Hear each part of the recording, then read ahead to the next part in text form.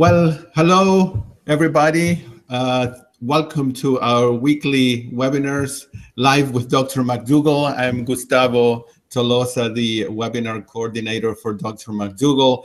And uh, this is our last webinar for 2015.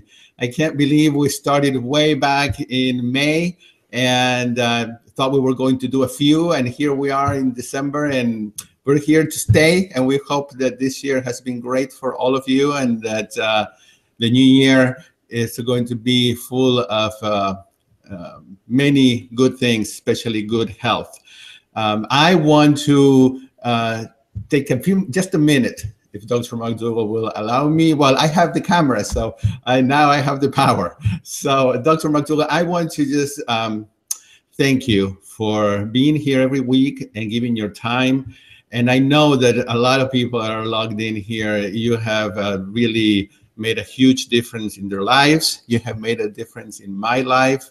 I don't. I would be in very, very bad shape um, if I had not found you about two years ago. And I want to thank you. I want to ask people actually to write a few messages on the chat box about, um, uh, well, what what this has meant to you and what Dr. McDougall has done for you. I would like to see that. And um, so thank you. And Dr. McDougall, uh, I want to welcome you today to the last webinar of 2015. And you're going to be talking about food, sex, and attractiveness, which is a very good topic. And um, thank you again. Here you go. Well, that's good. Are we going to be uh, showing a little movie at the end uh, or at the beginning? Um, I just want you to say to welcome people, and then I'm going to show a oh, very short yeah. clip.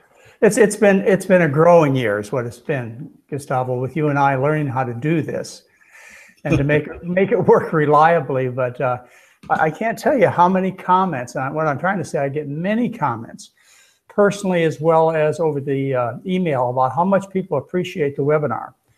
We certainly enjoy doing it, and uh, uh for me to be able to sit here in my studio and to talk to hundreds and sometimes thousands of people as opposed to getting on an airplane or even driving my car down uh, down to the library to give, give you a talk. This is just a miraculous invention. And uh, if uh, really you need to know this, I say it all the time. It, it's Gustavo that uh, pushed me into doing this, and uh, we have. Yes, you, yes, you did. It would never happen with, without you. And we've got a real show going, and we're going to keep getting better. And we're adding new people. You must know some of our other experts, like Doug Lisle, will be coming on. It's a possibility my son, uh, Craig McDougall, will be doing a uh, webinar presentation. And some of our other staff to bring other aspects of our program to you out there, wherever you're living. So we're going upward and forward. We're really excited about it. Uh, I don't think I can run out of things to talk about. No, no, that's not possible. It's 40 years. um, so, Dr. McDougall, I would like to um, pl uh, play uh, about a two minute video from way back. And uh, everybody, I haven't told Dr. McDougall which uh, video I'm playing, so it's a little surprise. but I, um, Dr. McDougall, I chose this one because I think this would be a good uh, thing for all of us to consider as we start the new year. And after the clip is done, I would like for you to comment a few words about this this clip. All right? Okay, sure. So, okay, here we go. And this is the the little clip, two minutes.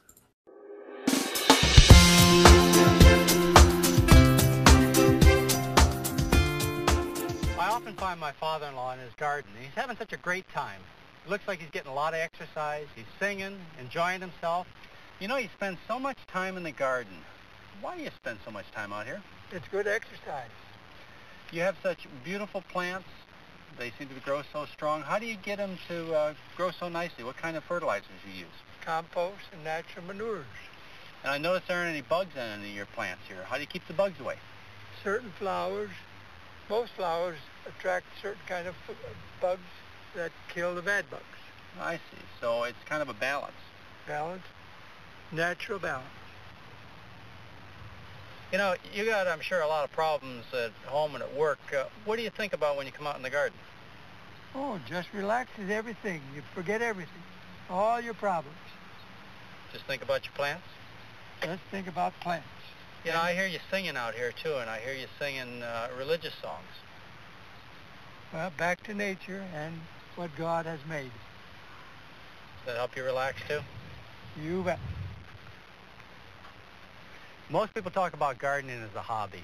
Much, much more physical than that. I mean, people are up and down. They stretch muscles. They have to lift things. You burn almost 200 calories an hour when you garden. This is a sport. Dad, how old are you? 76.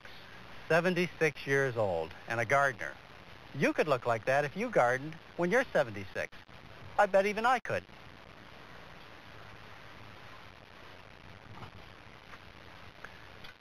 Any time of the year is a good time to start thinking about gardening. Now why don't you go out in your yard and find that spot where you're going to relax, where you're going to get your exercise, the place you're going to start that special garden. And pretty soon you'll be reaping the fruits of your labor. I want to do it. I want to have a garden. Yeah, that's that's pretty cool. That's my uh, that's my wife's dad, Pat Like. Yeah, he, Oh, he was, he was a that. good friend, uh, very good friend of mine. Uh, to enjoy, I would guess, uh, 33 years of my life with him. Uh, he, we did everything together. We sailed boats together. We flew airplanes together.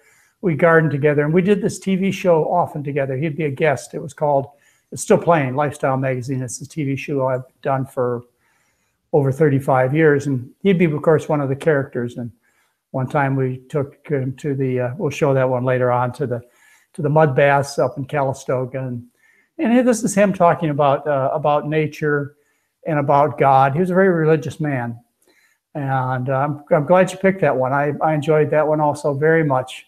Uh, the man was very strong. He almost died of uh, heart disease at age 70, and I found prostate cancer on him. Dr. McDougall, your your sound is um it's off. There's a lot of static. I wonder if there's something near you, like a phone or something that it's preventing the sound from All right, coming let's through. let's see if we let's see if we can make it work Okay. better. I can even That take that is already that's all. better. Yeah, that's already better. Yes. All right. Yes. Well, if it starts again, stop me because About- we missed a few words. Yeah, okay. Well, what I wanted you to know is uh, he was a man of great strength. He had a heart attack at 70, wouldn't change his diet. And uh, then he had another heart attack about six months later, and at that time he changed his diet. When he was about 65 years old, I found prostate cancer on his prostate through, I used to do his physical examinations. And he asked me what to do, and I said, You should do nothing. And they were people of great faith, uh, he and Marge. And they believed in me and they said okay we'll do nothing. Well he eventually died at 93 years old uh, of natural causes. And uh, never had another heart attack. He uh, worked right up until the day he died. So he, he, he did Wow. well. It's a great example of what a diet can do for you even when you start old. And he was uh, 70 years old before he changed I'm It's never too late, really, to change, right? it's never too late to change, and the, and the results are absolutely phenomenal. that was a nice one. You pick and surprise me every time. Let me uh, get uh, to going on the sh- on the show today. I want to talk to you about right. Very good. looking good. I know you uh, have a PowerPoint presentation, so I- while you're, uh, okay, there, there it is. It's Do you see it? Do you see the Uh, we can see it. Perfect. All right, good. Well, this is from uh, the November 2015 newsletter, the current newsletter, and the second part will come out in December 2015 because I we are not going to do any webinars for the next two weeks, and the newsletter will be out. You'll be seeing some of that newsletter uh, before it gets published at the end of December. The newsletter, in part to get people get people's attention, is titled "Food, Sex, and Attractiveness." Uh, attractiveness. Attractiveness serves to get people together. Yeah. You want to be attractive because you want the best quality of people around you.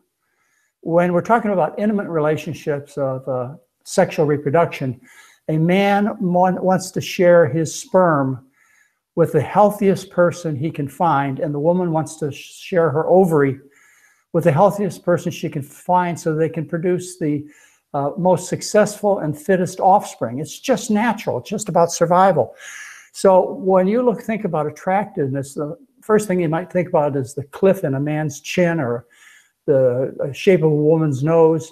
But that's not what you're looking at. What you're looking at are signs, clues uh, called attractiveness that will help you uh, have the, the best mate possible. And this isn't just about sexual reproduction and attractiveness. It's also in your workplace. You want to work with people that are healthy. Uh, then that comes across as uh, you calling it attractive. You want healthy people around you who can work long hours, are skilled, and you see those as clues of attractiveness. Uh, people who are, are, are healthy, which translates into attractiveness, uh, get higher paying jobs. They're more likely to get into college. They're just more likely to be successful. So let's look at various act, uh, areas of attractiveness. And again, these go beyond just sexual reproduction. Uh, vegetarians, vegans have 13% more testosterone than do meat eaters. And that comes from a study you can see up there, the British Journal of Cancer. 13% more testosterone. And people who eat healthy have less erectile dysfunction. Because erectile dysfunction is caused, well, by feeling poorly. Uh, it's also caused, and the main cause is vascular. Uh, the penis becomes erect when it gets filled.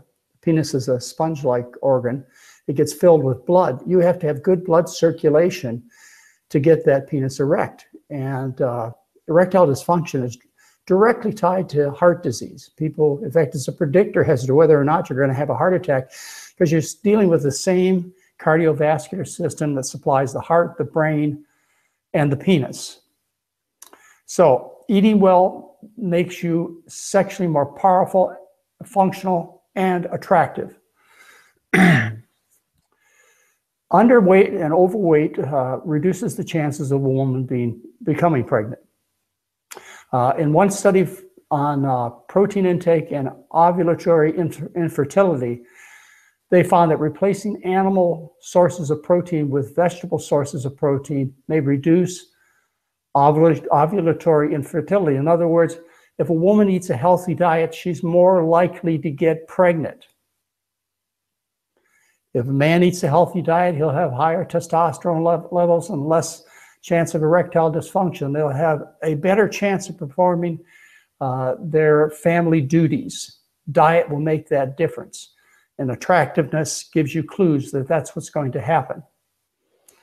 Environmental chemicals, about almost 89 to 99% of our body's environmental chemicals come from meat, dairy, and other foods, fish, chickens, foods high in the food chain. And these environmental uh, chemicals have a big impact on your reproductive outcomes.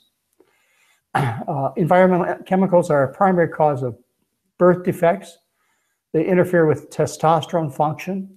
This is, a, this is one I particularly found interesting. They decreased ejaculate volume. Now, you may not pay attention to ejaculate volume much, but then again, you may. And it, when the chemicals you take, it results in a decreased ejaculate volume, which has all kinds of ramifications. Uh, it causes low sperm count. It shortens sperm life. You have poor sperm motility, genetic damage, and infertility because of these chemicals that come primarily from eating the animal foods, including fish. Now, a mother, when she con consumes a diet high on the food chain, animal foods, uh, these chemicals in her body that she gets from the environment, they influence the male fetus, the little baby living inside of her. And when you're on that kind of diet, it increases the risk of the boy baby to be born to have a smaller penis and smaller testicles. Also, those chemicals cause the, uh, the opening, the urethra, to open not at the tip of the penis where it's supposed to, but at the base of the penis, and that's called hypospadia. Hypospadia is a very serious uh, genital, genital uh, defect that occurs in, in children, and it's caused by environmental chemicals. Also, an undescended te testicle is another cause from these environmental chemicals. Going away from the chemicals again, just going back to the basic foods. If a man or woman eats fewer plants, they have an increased risk of birth defects. This is irrespective of the chemicals. And one of the one of the birth defects that's so, so commonly caused by a diet insufficient in folate, folate is foliage, it's from plants, is uh, uh, Down syndrome. It damages the male sperm. So the male passes on genetically trisomy uh, gene pattern, trisomy 21 gene pattern. He passes that through his sperm onto the female, and the result can be Down syndrome, just from eating less plants. All right, let's take talk about some of the clues to attractiveness. Uh, body weight is a clue to attractiveness. Being too thin or too fat is unattractive. And it's also a sign of poor health. In between, there are all kinds of levels of plumpness that people have found themselves attracted to. Uh, you remember the pictures you've seen in the museums of uh, the ladies of the day, and often an attractive woman would be a woman who was uh, plump in size. Kind of depends on the area that you live in and what you particularly care for, but you must be within a range that's not too little, not too trim, not too little fat, and not too much fat. You've got to be in a, a, range that is uh, conducive to reproductivity so that you can have babies in a family. Uh, too little fat on a mother will result in infertility and low birth weight, high risk babies. Now, too much fat's associated with infertility, poor birth outcomes, and overweight women grow overweight babies. Now, the birth canal is designed for a five to six pound baby. And that's the size babies used to be when I was a baby. And they used to fit out easily. These days, because mother's eating so much food, the babies are growing to 8, 10, 12, sometimes 14 pounds. And they can't fit out of a birth canal that was designed for a six pound baby. They just don't go. So as a result, you have to take the baby out from the top. That's cesarean sections. Often, in fact, uh, 30 to 40% of births in our society are cesarean sections. In parts of the world, like in uh, Argentina, Buenos Aires, uh, in the wealthy families, uh, as many as 80% of the births are from cesarean sections. Well, if you try and have the baby born through the birth canal, because the baby's so big, the baby gets injured.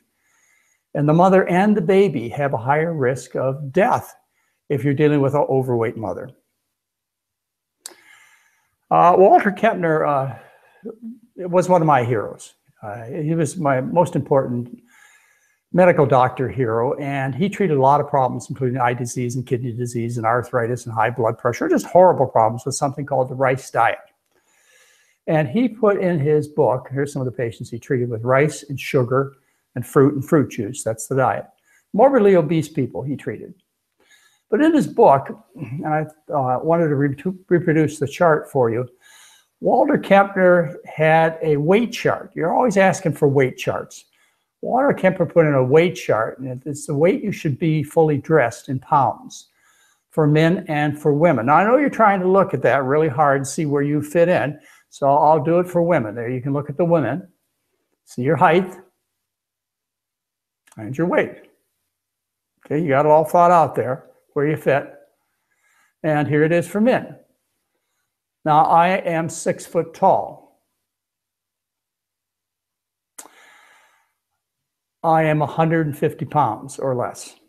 So I guess I'd be a little underweight according to Walter Kempner. Maybe with all my clothes on, heavy shoes, and a coat, I would hit Walter Kempner's 160 pounds. I think that's a reasonable weight. If you put any of my staff or family to these figures, they will all weigh within these figures. The reason I put this chart in one of my uh, previous newsletters is because when people follow the diet I recommend, uh, they often are told that they are too thin or they think that they're too thin. Uh, it's it's just, about, just a matter of perception, really. And so I send them to the Walter Kempner weight charts so that they can see that they're really not too thin. This is what a person should weigh. And uh, if you follow the diet strictly as I teach, even the McDougall diet, you will get close to Kempner's figures on what is ideal weight. Now, I do have to add, Walter Kempner said sick people, people with diabetes and heart disease and kidney disease, should weigh 10 to 15% less than the figures you're looking at. This is just for normal, healthy people. So, what is the ideal weight for you to be most attractive? Well, I kind of like the Kempner figures. You may have some other idea of what's attractive. It just has to be within a range where you can reproduce successfully. Now, I want to show you another area of attractiveness that has to do with the pallor or pinkness or grayness of your skin. This is your circulation. Uh, oxygen makes the blood turn red. And if you have a lot of oxygenated blood in your skin, you'll be termed in the pink because you'll have a nice pink, rosy complexion.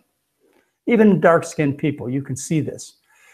As the uh, blood goes through the blood vessels, the oxygen is taken out. And at a certain point, you enter the venous system where the blood is blue.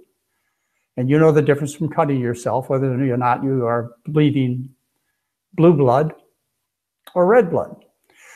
Well, the more blue blood you have in the skin, the more bluish or grayish you'll look. The more red blood you have in the skin, the more reddish or in the pink you will look. If you don't have very much blood at all in the skin, in other words, the vessels have shut down, you will have pallor, a grayish pallor.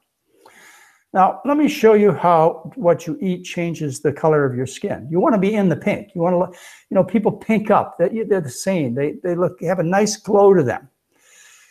The flow in your, in your blood vessel system changes with what you eat.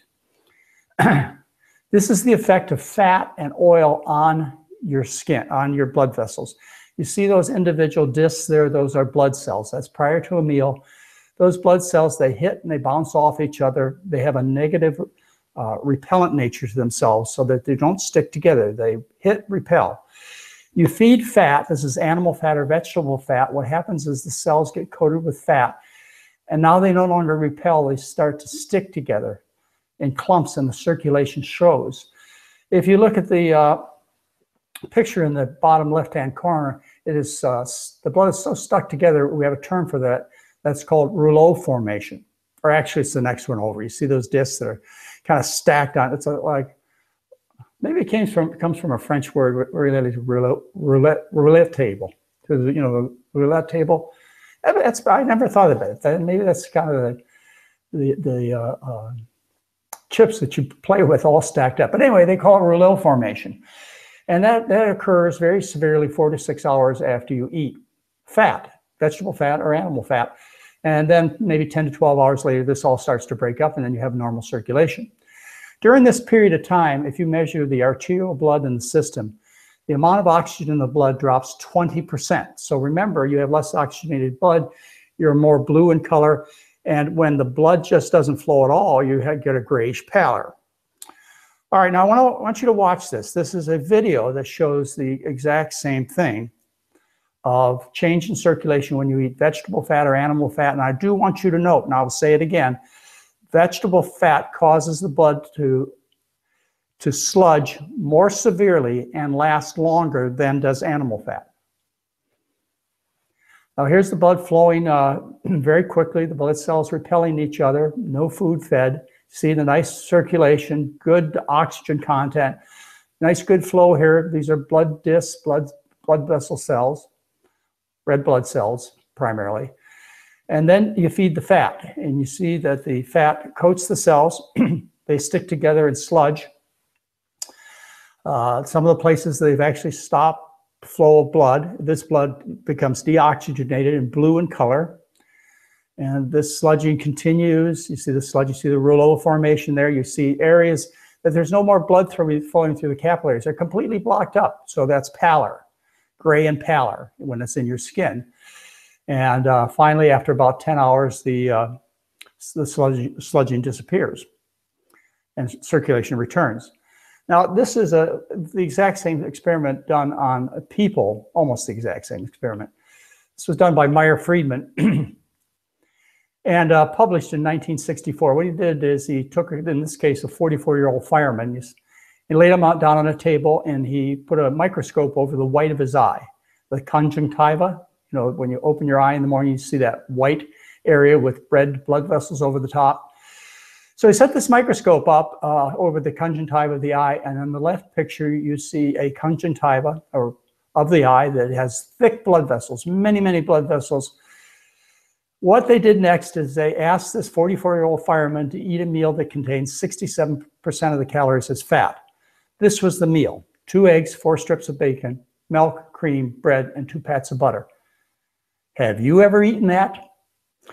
Well, if you look at the next frame over, that's his eye four hours later. and you can actually see blood vessels that have disappeared. And the blood sludges through there and it becomes a more bluish color. And when the vessels disappear, that's pallor if it was in your skin. So a, uh, a look in the skin of being uh, pale, gray, blue, is unattractive. It's giving you a signal that this is not a healthy person.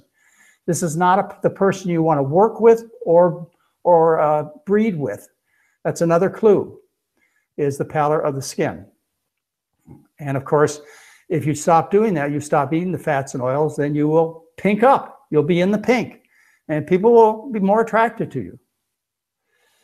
Uh, let's talk about diet and acne. The foods to avoid are animal foods, especially dairy, vegetable oils, vegan packaged foods, they're full of oil, nuts and seeds and avocados. And what you want to eat are starches, vegetables, and fruits. These oils that you eat go someplace. They go under your skin as stored body fat, and they also go on your skin, and you end up having greasy skin. Greasy skin and greasy hair is unattractive. If you're tired of looking greasy, just stop eating these things as well as the meats and the vegetable oils and the fake vegan foods and nuts and seeds and avocados. Stop eating that stuff. And then the oil goes away and then the acne goes away. These are pictures that you may see on national television soon. These are the Nelson twins, Jeff Nelson's girls. And uh, you see the terrible acne they have. Uh, Rhonda and Nina are uh, professional actresses. And uh, their downfall had been the consumption of vegetable oils and uh, vegan cheesecakes and other kinds of vegan foods. So they figured this out. I'd been telling this for a while, and also their uh, son, their brother, was in the same situation, and he came to one of our weekends to help film one of our weekends. And I told him this. I said, "Look, this is the problem. It's the oil on your skin leads to acne." Well, they were in a vacation situation where the oily vegan food became even more intense, and that's what happened to their faces. And uh, right then and there, they decided they were going to go back to a starch-based diet and get the oil out of their diet. and uh, here they are now. And they're going to go. Uh, uh, I've had um, some of the big TV shows call me and ask if they would do a show and, and me be present. I don't think I'll travel to their studio, but I may be present. So you see all these kids, mostly kids, teenagers, suffering terribly. and just terrible child abuse going on with uh, greasy skin, greasy hair, and acne, and even happens in adults. And it's a simple solution. You cut the animal foods, particularly the dairy, and you get the oil out of the diet, and the face heals up. And you know, it's, I, I see my patients become non-greasy usually within four days of being at the program, and they notice it. It probably take a month to heal up the, the sores. Now, attractiveness. Remember, we're talking about attractiveness. In addition to sight, you share your health and thereby your attractiveness through smell. uh, smells made by chemicals that are in the air, and these chemicals go in the nose, in the nasal cavity, and they're attached to little hairs. We call them hairs, but they're really tiny nerves. And the nerves interact with the chemicals, and then the nerves, if you can see the olfactory lobe there, that's the stalk of the brain. The nerves go through the stalk of the brain, the olfactory lobe, up into an area of the brain called the limbic system, which is uh, kind of that uh, bean-shaped system there. You can see the red lines taking it in, into that. That central uh, area of the brain, it's called uh, the limbic system. with the hypothalamus. And that's the area of the brain where uh, where messages of sex and love and smell and desire that's where they're processed. So you know this, the perfume industry and the deodorant industry tries to sell you bottles of love to give you a good smell. Good smells, desirable smells are attractive. Bad smells are unattractive. Now, the primary bad smell that people run into is uh, sulfur. And the way we get sulfur, because sulfur is neither created or destroyed, it's a basic element. You must take it into the body. And the sulfur is taken into the body through what we eat. This happens to be the methionine content of various foods, which is one of the primary sources of sulfur. There are only two, cysteine and, and methionine. For the same amount of calories, for the same uh, amount of food, beef has four times more sulfur containing amino acids than the pinto beans. Eggs has four times more than corn. Cheddar cheese has five times more than white potatoes. Have you ever heard of cutting the cheese? Chicken has seven times more than rice. Tuna has 12 times more than sweet potatoes. The sulfur gets into the body. Some of the sulfur may break down into the mouth and give you halitosis there, but most of it occurs this way. And my point being is you can even clean your mouth carefully and you'll still have halitosis, bad breath.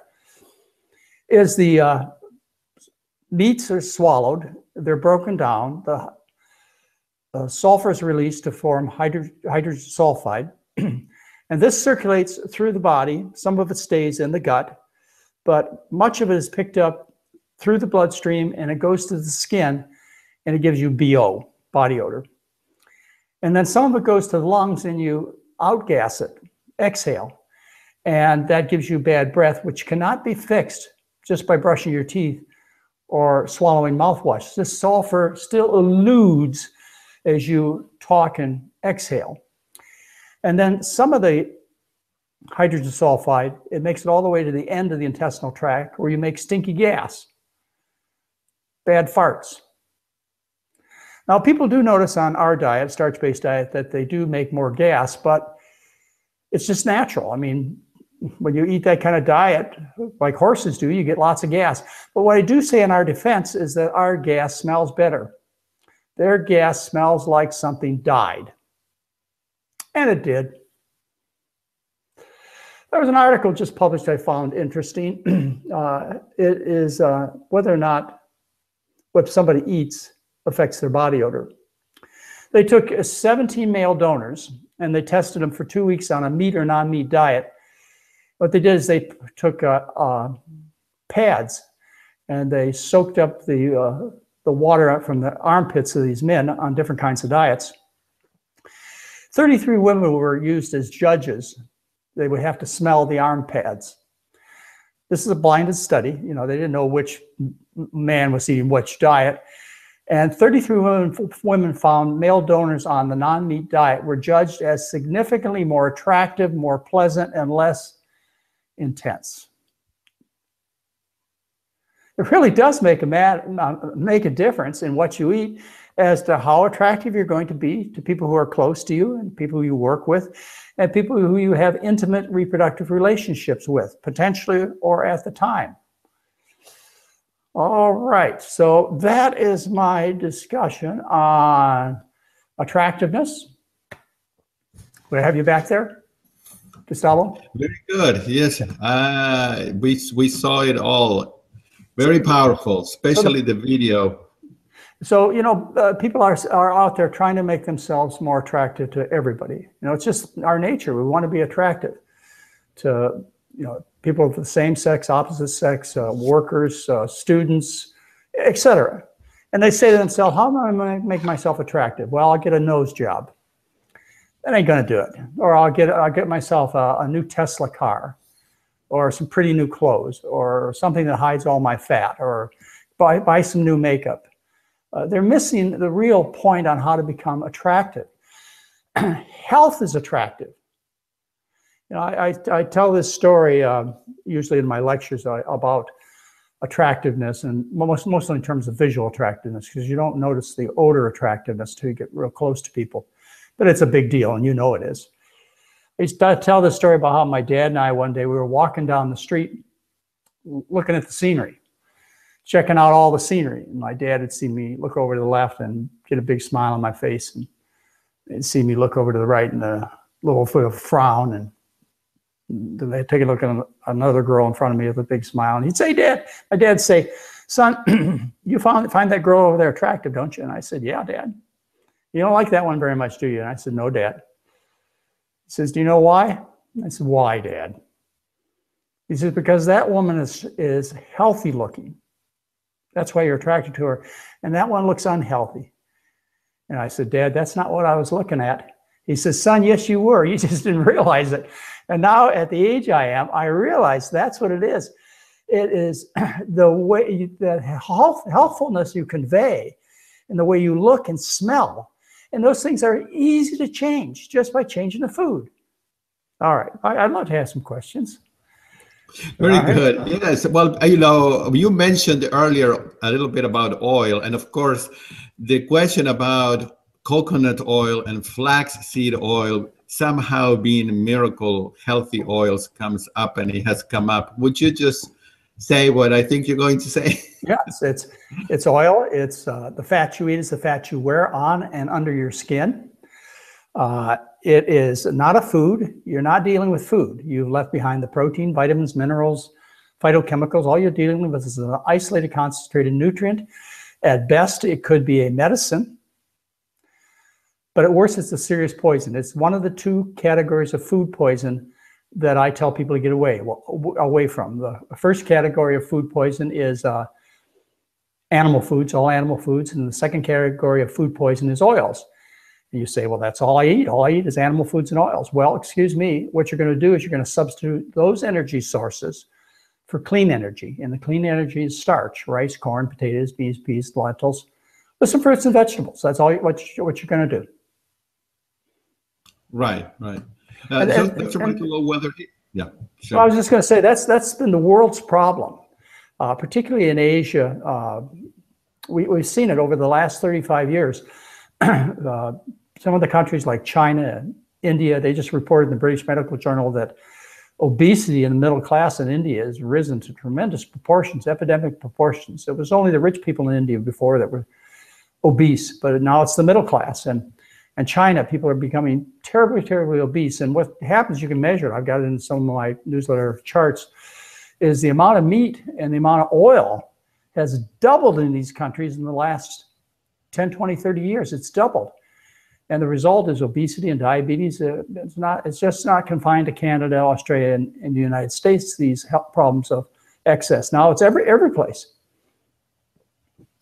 Right, it's every place. And uh, you mentioned my own, you mentioned my home country, Argentina, earlier. So, yeah, no, that's that's one place I have to tell you. now that you mentioned it, Gustavo, that's one place I thought I was going to have to give up and go on the Atkins diet.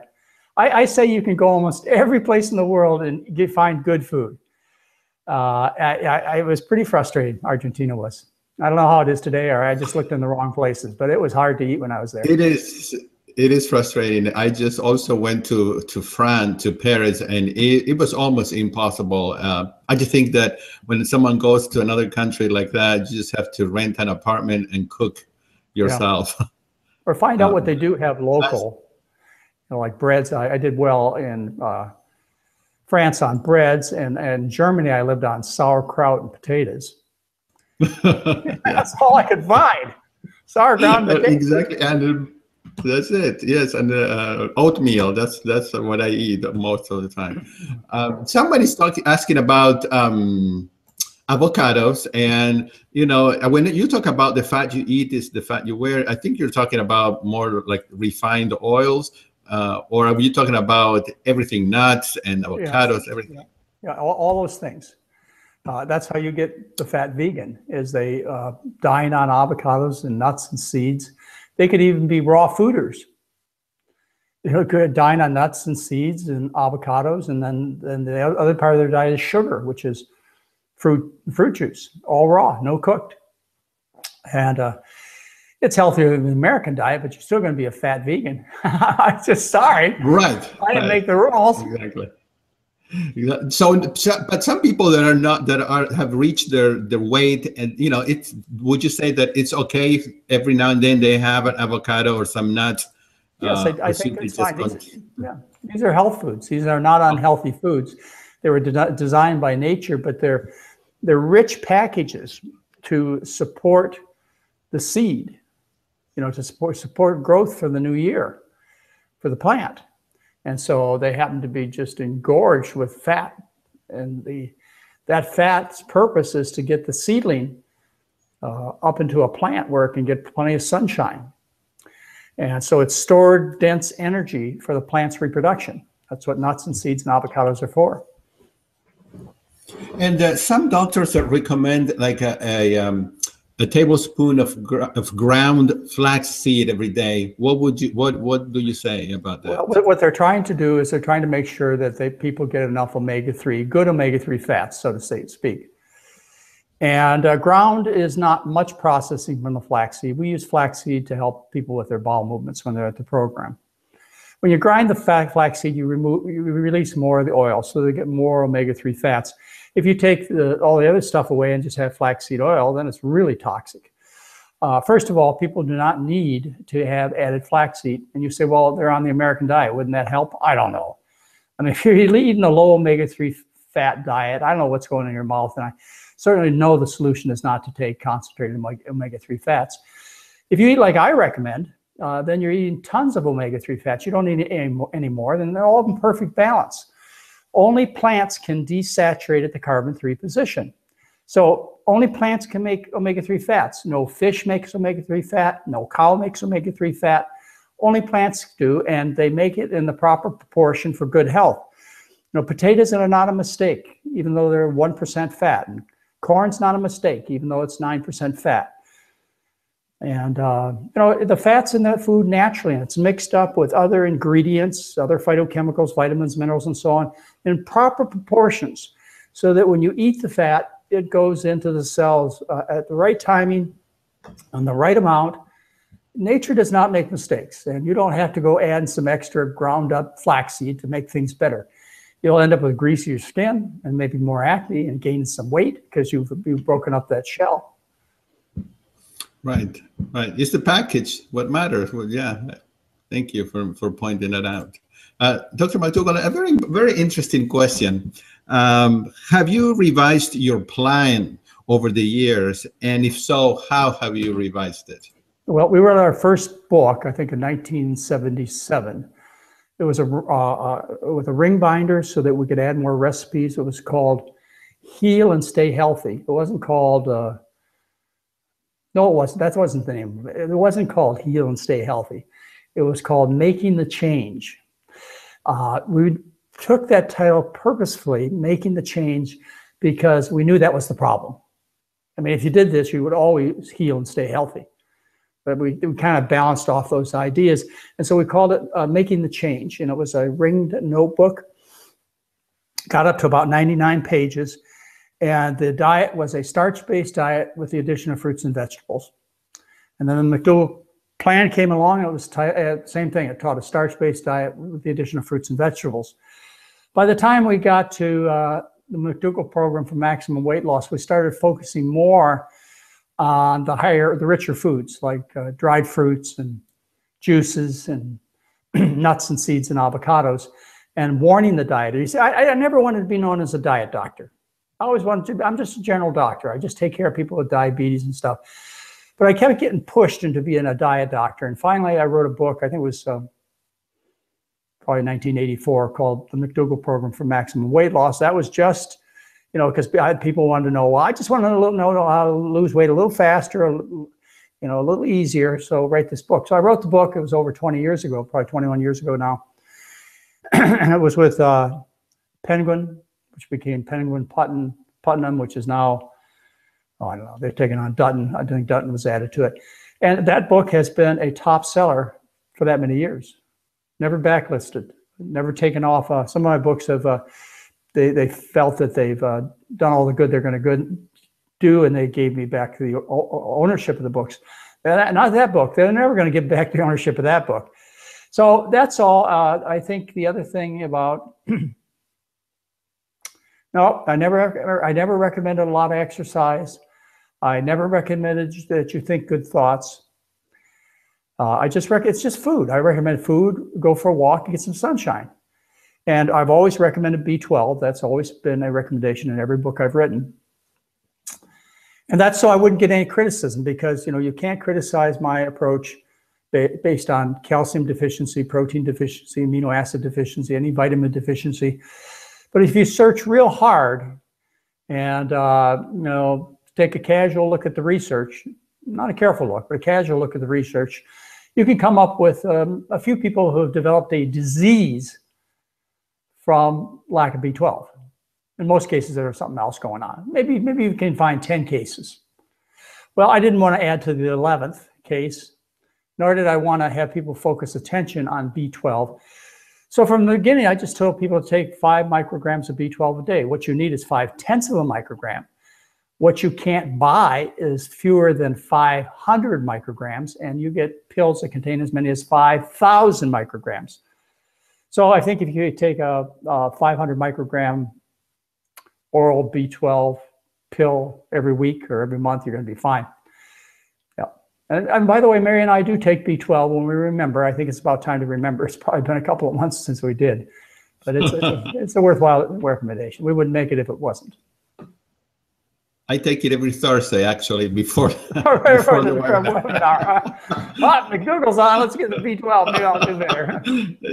oh yes, I want to look attractive too. Um, well, so one more. Every time I do, do comment, Gustavo, every time I comment, it's it's kind of like, and we have this record from previous webinars over the last six months. We ought to just uh, you ought to just take some snapshots of you as time has gone on and put them up for people on the webinar to see just how much change has happened in your personal appearance and the 70 plus pounds you've lost. We, I might do that then. Yeah. Well, Dr. McDougall, we have been here almost an hour, and okay. so I know that you're busy, and uh, we'll let you uh, go. And um, I know you want to wish everybody happy holidays. Oh, very much so. I, I, hope you have good times with your family. There's uh, holiday recipes, by the way, up on the website. Uh, just look you so you know learn how to make mashed potatoes and stuffed pumpkin and the way that Mary's gonna. Well, she's not actually not even go, that, on that theme this year for Christmas. We're going over to Heather's house and we're going to have a, a, a noodle dish, uh, one of our favorite noodle, noodle, dishes. That'll be our Christmas celebration. Not even close to anything oh. that would resemble a bird. So the family's going to get together and have uh, dinner at Heather's. Yeah, I do want to wish you happy holidays and a good new year. Our next 10-day uh, program is in January, and we're going to uh, we're going to go to Hawaii January 30th, and we invite you to that. The advanced study weekend is really full. It's going to sell out. Remember, T. Colin Campbell's going to be there, and Esselstyn and Greger, and a lot of the favorites, and a lot of new people too. So if you call up uh, the beginning of January and Heather has to tell you, I'm sorry, we have no more room, don't be surprised because it's really filling up a lot. And uh, you can watch it uh, from you can yeah, watch you, it right live. You, that's right. You can. Uh, we will be uh, selling it for an internet broadcast uh, close to the time of the real show, which is February 12 through 14. Yeah, I don't know what else I want to tell you. That was fun. That's going to be fun showing those videos. And it is a lot of people, uh, you, I, I, am always amazed how many people comment. You know, we love your website, but how many separately make a big deal about, boy, do we love the webinar. And uh, we love the webinar too. We're having fun at it. We do, and I, I I see people commenting that they like the to have the weekly McDougall doses. Uh, oh, the McDougall fix, huh? see if see, see, if he's still alive and well. it's his turn. All right. Uh, see if he's still there. But we are going to have some guests uh, uh, next month also. But I'll be doing the bulk of the webinars. Uh, and uh, but we want to bring in some more of our team to have you see some very interesting talent. That would be really nice. That would be very nice. Thank you. Well, everybody, I know that uh, the the, the uh, latest newsletter has a lot of really good recipes and so I encourage everybody to go to the website, drmcdougall.com, and download it. And the the, the first part, the, the, the attractiveness part is already up. It's right. the November newsletter. You read there, and also we've had some questions about the replay on the webinar. Sometimes it takes a while for us to get this webinar up on the website. And so when you go to the website or you get an email that says uh, you can now watch this uh, webinar again, share with your friends, etc., uh, and it doesn't appear to be there, well, just be patient. It'll be there. Sometimes it takes our team a little while to get it up. Yeah, it, it may sometimes it just takes uh, 24 hours, but it's Yeah. usually less than that. It is. Right. With a lot of hard work from Well, a lot of good people. yeah, it, it you know it does take uh, several people to put these webinars together, and uh, we appreciate the work that everybody does. Yeah. Um, I want to also thank everybody for logging in, and uh, I look forward to um, seeing you, Dr. McDougall, and everybody else the first week of January. Very good. Thank you. And, uh, happy holidays. Happy holidays. Bye bye. All right, bye bye.